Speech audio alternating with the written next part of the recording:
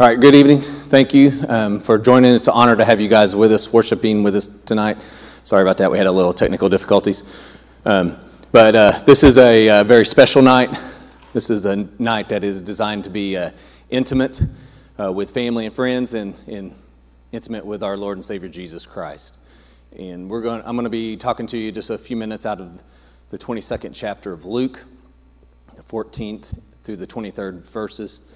This is what uh, we have come to know as the Last Supper, and uh, it is in the upper room, and uh, it is where we get our um, communion. And the words that I want you to understand tonight is uh, with fervent desire, the words of Jesus Christ. So this is Maundy Thursday. Um, it's also referred to um, very often as Holy Thursday. Um, it is uh, the Passover meal that was in the upper room that Jesus Christ held with his disciples.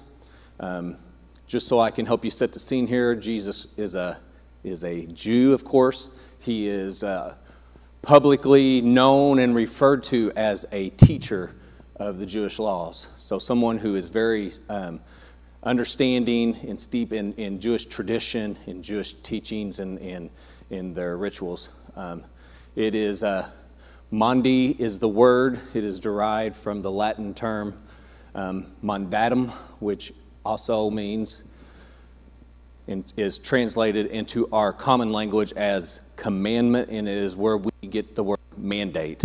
And uh, if, you, if you study the scriptures in the discourse that happens in the upper room, we see that this is where Jesus Christ says the words, I give a, a, new commandment I give to you that you should love your brother as you love yourself. And uh, as I have loved you, you should love one another. And then he goes on and says that they will come to know that you are my disciples by the way that you love one another. Okay? So, um, we find in the 22nd, in an early part of the 22nd chapter of Luke, that uh, Jesus is preparing for the, the Passover meal. He sends his disciples um, and he says, uh, Go and, and prepare the, the Passover for us that we may come together and that we may eat. And that is what, that is what we are signifying, that is what we are um, commemorating tonight, is that, that meal that happened between Jesus Christ and his disciples. Um, we refer to it as the Last Supper before he goes into his trial, into his uh, uh, persecution, all the way up through his crucifixion and resurrection. But um, at that time, it was called, it was, they were commemorating and celebrating the Passover meal. Um, it's often referred to as the Seder meal, Passover Seder meal. That's the Jewish term. And um, this is a ritualistic meal, it is very elaborate and it is a time of teaching, but it is a very ritualistic uh, meal that is depicting the liberation of the Israelites as they were released from bondage through the power and through the glory of God, um, through the plagues and through the, the leadership of Moses and Aaron as he goes to Pharaoh and demands through the power of God that he release the uh, Israelites from slavery.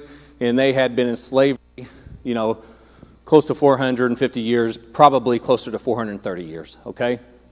So we see here that the overall theme this is uh, um, not only the bondage of slavery, but also the liberation through the power of God and the freedom that the Israelite nation receives and enters into the Exodus, into the promised Holy Land. All right? And uh, it is God's great power in redemption is revealed, and this is one of the most defining events for the Israelite nation. And from this event, from this event where Pharaoh releases the, he, he, he, he cedes to the power of God and he releases the Israelites from their, their slavery and their bondage, and they go on to the Exodus to inherit the promised land given through them by them through God. And uh, this is where um, they come out of bondage and they actually become an Israelite nation. So, out of this story it is one of the most defining events that the Israelite nation stands upon. And it is so defining that this meal that they do every year, and the Bible commands that in the season you are to do this um, every year, um, that they are to, uh, they're commemorating and, and they are celebrating the release from bondage of slavery from the Egyptians. And it's all made possible through the power, through the redemptive power, through the almighty, almighty power of God. Okay? And it says that, uh, just to reflect that at midnight, this is all made possible at, because of the Passover, the blood that was put on the top of the doors. And um, it says that at midnight, the Lord struck all the firstborns that did not have the blood on the door. These were the Egyptian um, families and their firstborn, even Pharaoh, all the way down to the poorest of the poor. Those who did not have the blood of the lamb on their door seal, they lost their firstborn. But if the blood was there, then the death angel passed over, passed over, and that's where we get the Passover terminology from. Okay, so Seder is translated, and, this, and this, this, these little tidbits are important here. I want you to dial in on me real quick here. That Seder word is translated into home.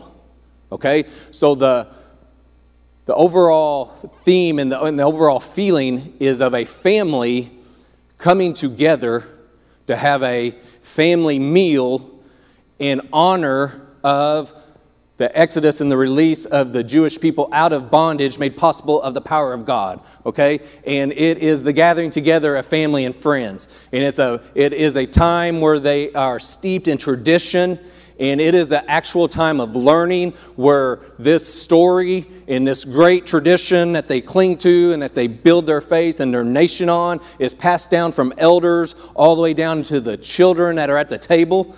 And uh, that's why that song is so fitting that you guys sang tonight at the table. It's the gathering together of the family, and it's the discussion. And you have these people reading these, the, the books, and then they stop to make a point and they have children ask questions. It's just a, it's just a great time of learning and of fellowship. All right, and Exodus 13 8 says, And you, should tell, you shall teach and tell your sons in that day, saying, This is done because what the Lord did for me when I came up out Egypt. So the overall theme here is that God has released them from bondage into a redemptive freedom that can only be made possible by the power of God. All right? And it um, the actual Passover meal has several courses to it, several things included. Okay, we know that there's a bitter herb, and uh, each thing that is, that is in the meal has a significance. So the herb there is bitter, and it's, it's to remind them and teach them of the bitter of slavery, of being in bondage, and not having the freedom that every human soul just desires. And then there is a green vegetable, usually parsley, that is served, okay? And this is the uh, idea of spring or of renewal or of a promise of new life, the springtime, the, the greens that come out in the spring. And you think, well, that's a, that's a really good thing. But they dip this vegetable into the herb. And, and even though there is this idea of life and renewal in the springtime, it's actually covered in the bitterness of the slavery. And then we have the salt water, the tears, which signify the tears of the slaves as they cry out for, uh, for help and they cry out for mercy and for redemption and for freedom to God. And then there's a roasted egg, which is signifying the cycle of life that continues even in times of trials, even in times of tribulation, even in time of bondage, life continues to, to move on. All right? And then there is this paste of fruit and nuts that they have. And this is to remind them of the mortar that they used to actually build, like the pyramids and all the things that the, that the um, Egyptians forced them to do as, their, as they worked in, in their role of slaves. Okay? So, also involved, of course, and we get to, to the three main things that I want to discuss tonight, is the unleavened bread. And this is, uh, this is bread that is meant to be made in haste as they try, as they made it in a hurry because they were preparing to leave for the flight from Egypt into freedom because of the promise, the hope, the faith to stand on God's word that the blood over the, uh, over the door seal would cause Pharaoh to relinquish and give them victory, all because of the power of God. So, this unleavened bread is a meal, is bread made in a hurry. Okay? And it refers, in, in many times, and actually in the meal, they referred to it, the Jewish people do, as the bread of affliction, which the forefathers before them ate while they were in slavery in the land of Egypt. So, as you pick up on these things, everything in the meal is designed and has a re- resemblance to some kind of uh, um, negative dealing with slavery, some kind of affliction, some kind of sorrow dealing with their slavery and their bondage in Egypt. Okay? Then we move on to the wine. Okay? And uh, throughout this meal, there's technically four glasses of wine that are, that are passed around. And, they, and you are actually required to drink the four glasses of wine. And they, the four is a number, and it is very significant because it, each glass represents a promise of redemption made by God, and it's brought out in Exodus 6. It says, Therefore, say to the children of Israel, okay, I am the Lord. Here's promise number one I will bring you out of the burden of the Egyptians. So they are promised that they will be brought out of the Egyptian slavery. I will rescue you from their bondage. So they will be rescued from slavery. I will redeem you with an outstretched arm and with great judgments. And we know, and if you know the story, that he has that he has uh, um, redeemed them. He has brought them from slaves into his own people. And then that is the next promise: I will take you as my people, and I will be your God. So these are the four promises that are found inside of Exodus 6 6 through 7. And each glass of wine that is uh, required in this meal represent those four promises, okay? And if you read the scriptures, there, there, there are a couple times where Jesus takes the cup, so we know that he was going through this meal, all right, with his disciples. And then the, and then the main course, the actual meat course of the meal, is lamb. All right, and, and, lamb, and the lamb doesn't actually, it is the only course in the meal that doesn't actually signify any kind of suffering due to slavery or to their bondage. In fact, it is, it is representing, it is signifying the sacrifice where the blood was brought to put over the door seal, and then that was used as the meat in the meal. And it says, Your lamb shall be without blemish in a make of the first year. Okay? So it's kind of significant that everything in the meal is resembling and recognizing some kind of sorrow, some kind of negative emotion dealing with their bondage. But the lamb is the one course that doesn't, I know you're making the connections that I'm talking here, that it is the sacrifice. It is the sacrifice that provided the blood that actually created and actually caused the death angel to pass over. Okay? So, from this Passover meal, some of the great takeaways that, that the family is supposed to signify and, supposed, and supposed to pass down is that the Exodus actually created a new nation. It was the nation of Israel. Um, Jesus Christ now, now, these are very important parts, okay? So when we look at the Passover meal and we understand what they're celebrating, and we understand that Jesus Christ is a Jew and he is actually known and referred to as a teacher of the Jewish law, and we know that Jesus Christ is actually walking his disciples through this meal because he has told them, Go and find this upper room and tell them that the Lord needs it and he needs to be prepared for the Passover meal in this upper room. And they go and do as the Lord tells them. And then when they get in there and he is walking them through this meal, like all families, Jewish families are at that time, then we know and understand what he's doing. But then if you read the Gospels and if you read the Scriptures for what they really are, Jesus Christ is taking that and he's turning it upside down and he's revolutionizing the Passover meal. And if you knew what was about to happen, if you had gone through the Passover meal like the disciples had, and they, had, and they knew what was coming next, they knew what was, was significant with each course, and they knew what each thing represented. And then when Jesus Christ, that night, that particular night, the night before the night before that he is tried, the night before he is killed, the night that he is arrested, the night he is betrayed, then you understand the great significance that Jesus Christ is doing with this meal. And the impact that it made on those around the table. And we know as we come together each and every year and we worship with each other with, the, with what we call Maundy Thursday, we truly understand what Jesus Christ is doing. And it's our, and it's, and it's our commandment, and it's our duty as Christians to recognize what was happening that night. And that Jesus Christ is reinterpreting this meal.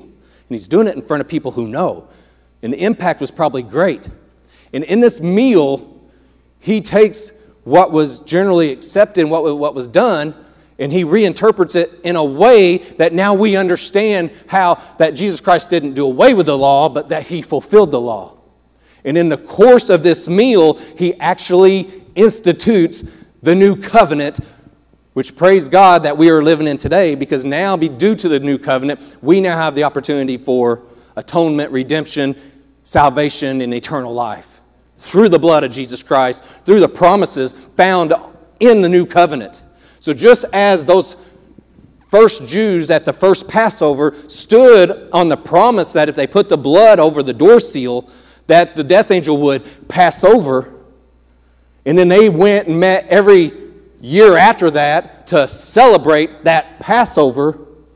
Now, Jesus Christ has taken that meal and he has reinterpreted it into his own salvation, into his own life and sacrifice, fulfilling those laws and then at the same time taking that process and reinventing it and reinterpreting it into a way to where it fulfills that law and now it institutes a new covenant where today with the same kind of faith and the same kind of hope we can stand on the promises found in the new covenant and that, in just the same way that they put the blood on the seal of the door they knew the angel the death angel would pass over we can take the blood of Jesus Christ that cleanses our sins and stand and know that the death angel will pass over us when it's our time to meet our Maker. So, how does he do that? Where does he do that? Let's look at it. We go into now into the upper room. We're now Luke 14 through 16 says that when the hour had come, and this is where I really need you to understand, and these are the words that I kind of need you to really focus in on tonight is that he sat down, that's Jesus Christ, he sat down with the 12 apostles, and then he says to them, and this is reiterating the total purpose for why Jesus Christ ever came to this earth. It's one single purpose that is, that he came to die for sinners. That's it, to provide. Now, did he do miracles? Yes. Did he heal people? Yes. Did he give us great teachings? Yes. Did he love? Did he show love? Did he teach love? Yes. All those things? Yes. But his purpose, his whole, his sole mission was to come to die for sinners. And now, as we approach that, even knowing what's going to happen in the next coming hours, if not in the next coming couple of hours, he tells them that it is with fervent desire that he has desired to eat this Passover meal. Because now the time has come for everything that he was ever leading up to, the most, what we thought was the most climactic time ever was the time when the, when the Exodus, when they entered into the Exodus and the death angel passed over. Now we enter to the true moment that changed all of history. And it is with fervent desire that he comes to this moment. And it is the moment that he will eat this Passover. He will now enter into the new covenant, and he will present himself and give up his life for crucifixion through um, sacrifice for each and every one of us, giving us eternal life and salvation. And it says here that before I suffer, and then it says, I will no longer eat of it until it is fulfilled in the kingdom of God. And there is a great promise, too, right there. And we know that Jesus Christ is the main course Jesus Christ is the main reason. Jesus Christ is the whole thing, and then He is the sacrifice. He is the blood. He is the very thing that will provide for us so that the death angel passes over us at our time, and we know that He is the Lamb of God. In fact, John the Baptist, seeing Him, looks at Him and says, Behold, the Lamb of God who has taken away the sin of the world. And Hebrews even says, He does not need to come daily as those high priests that have ever come before Him, who came each and every day to the temple to provide provide sacrifice after sacrifice after sacrifice, for he it, um, gave himself for our sins, for the people's sins, and for this, he died one time. One time, because his sacrifice is perfect. He is truly the perfect Lamb of God. Revelation says that, write these blessed words Blessed are those who are called to the marriage of the supper of the Lamb the marriage supper of the Lamb. And that is the next time that Jesus Christ will sit down with us and we will have a formal marriage supper, the celebrating the church being married to Jesus Christ forever and ever in heaven. He is the perfect Lamb of God. He is the main course. He is the one that sacrifices and provides the blood. And then we move on, and it says in Luke 22, now we talk about the bread. And it says that he took the bread, he gave thanks, he broke it, gave it to them, and he said this This is my body, which is given for you. Do this in remembrance of me. And now, going back to that issue to where he was going through this Passover meal, in the traditional Jewish Passover Seder meal, there is at no time anywhere where you say, you take the bread and say, This is my body. That was a total new concept. And what he was doing was he was telling them, I am fulfilling all the prophecies found in the Old Testament. I am fulfilling the Exodus. I am fulfilling the promise. I am fulfilling the promise given to us back in Genesis 3 when it says, I will provide the seed that will crush the serpent's head. That is the promise of Jesus Christ, the promise of the Savior. And as we celebrate this Passover meal that celebrates freedom, redemption, freedom from slavery, from bondage, it's a celebration of God's almighty power. Jesus Christ, at this meal, he brings himself to it and he says that I am the bread. My body will be broken for you. I will provide you the sacrifice. And then it moves on, and it actually says, and then he goes and says, He also took the cup, and he said, This cup is the new covenant in my blood, which is shed for you. You may be asking yourself, Well, let's, let's figure out what this new covenant, I, I'm not 100% sure what you mean by this new covenant. And at no time in the meal are those words in a traditional Passover Seder meal are those words found. Again, Jesus Christ is reinventing the Passover meal. And, and I don't want to under uh, emphasize or not make a big enough point at the awareness that the audience would have had when he said these words because they would have known what would have happened. It's like your favorite movie, that line that you love in a movie, if he doesn't say that line, if he says another line, you would say, Whoa, whoa, whoa, whoa. That's not the way that's supposed to happen. And that's what's happening here, is that he's taking these concepts that they knew, and they knew what was next and what was going to be said, and then he changes it and inserts himself to, fulfill, to show that he is fulfilling all the way back to that very first Passover. And that he is taking the sacrificial system and then he, was, he is reinventing it, he is changing it, he is fulfilling it, and he is taking us out of that covenant and moving us into the new covenant, which is made and sealed by the shed, perfect shed blood of Jesus Christ at Calvary. And that's what he's saying right there. And if you look back in Jeremiah, this is where it says, Behold, the days are coming, says the Lord, when I will make a new covenant with the house of Israel and with the house of Judah, not according to the covenant that I made with their forefathers in the days that I took them by the hand and led them out of the land of Egypt, out of their slavery. The very thing that we are celebrating in this Passover meal as they're sitting there. And it says, My covenant, which they broke, okay? It says, Though I was a husband to them, and I provided for them, and I protected them, they broke this covenant. But this is a covenant, a new covenant that I will make with the house of Israel after those days. Says the Lord, I will put my law no longer on tablets of stone, but now I will put their law, my laws in their minds. And I will not write it on tablets of stone like I did at Mount Sinai, but I will write them in their hearts. and I will be their God, and they shall be my people. No more shall every man teach his neighbor, and every man um, his brother, saying, oh, saying, Know the Lord, okay? For they shall know me from the least of them to the greatest of them, okay? For I will forgive their iniquities and their sin, and I will remember it no more. And that is the promise made all the way back in Jeremiah's day. That is the prophecy of the coming Savior. And Jesus Christ is standing before his disciples on the very night that he's going to be arrested and sent to the jail to be harshly lied about and to be persecuted through trials.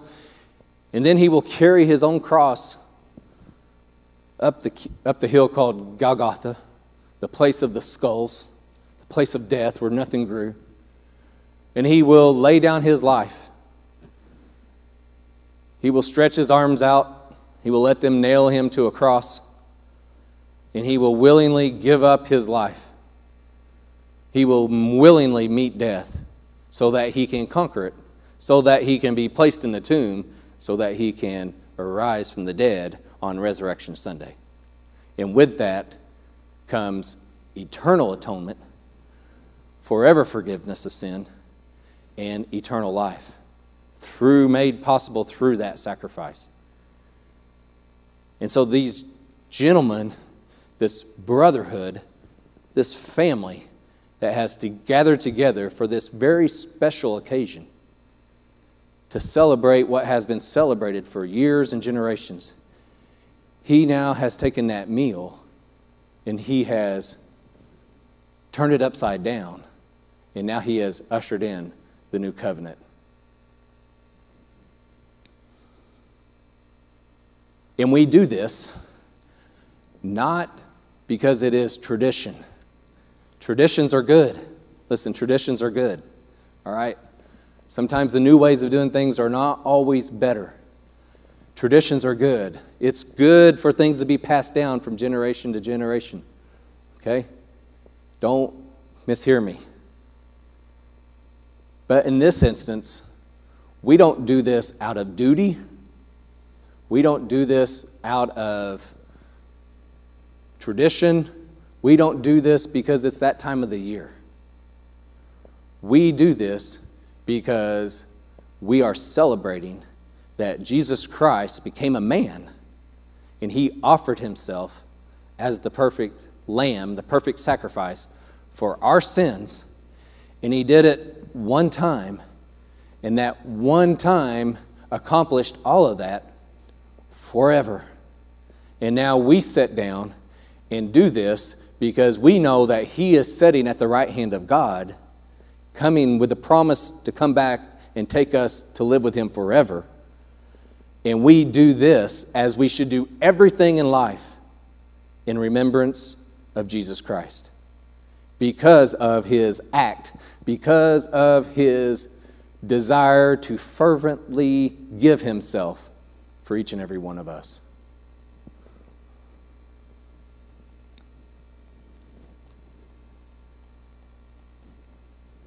I can go back. All right, here we go.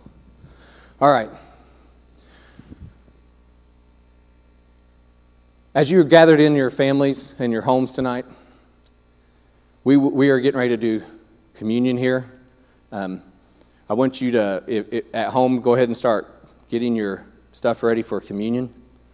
And um, again, this is not something that we're doing because of tradition or out of duty. We're doing this because of what Jesus Christ did for us. And everything that we do in this life we should do in remembrance of Jesus Christ. So, real quick, let me pray with you. Dear God, we come to you now. And, dear God, we just want to. Dear God, we just want to come to you and just thank you, dear Lord, for your sacrifice. Thank you that your willingness to go to the cross, to be in the will of God the Father, was always there, never in any doubt, dear Lord. Dear Lord, we are thankful for your willingness to come in the form of man, to relinquish your rights as Christ, as God, so that you may be able to give your life, to have your life taken from you as you gave it.